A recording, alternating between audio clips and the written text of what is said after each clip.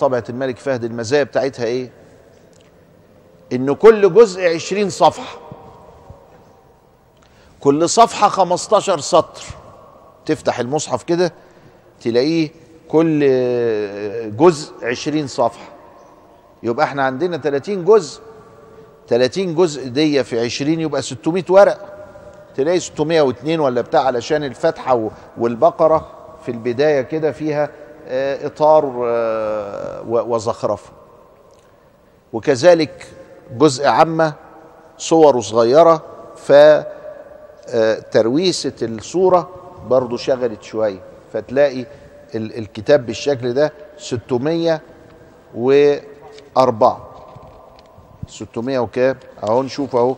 604 لكن هو 600 لا 20 في 30 جزء. كل صفحة تبدأ بآية تنتهي بآية. تبدأ بآية وتنتهي بآية. يبقى إذا الآية ما تتقسمش ما بين صفحة وصفحة تانية. زي المصاحف بتاعتنا بتاع زمان.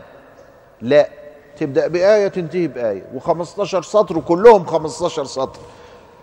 و20 صفحة كل جزء كله كده. من أول القرآن إلى آخره.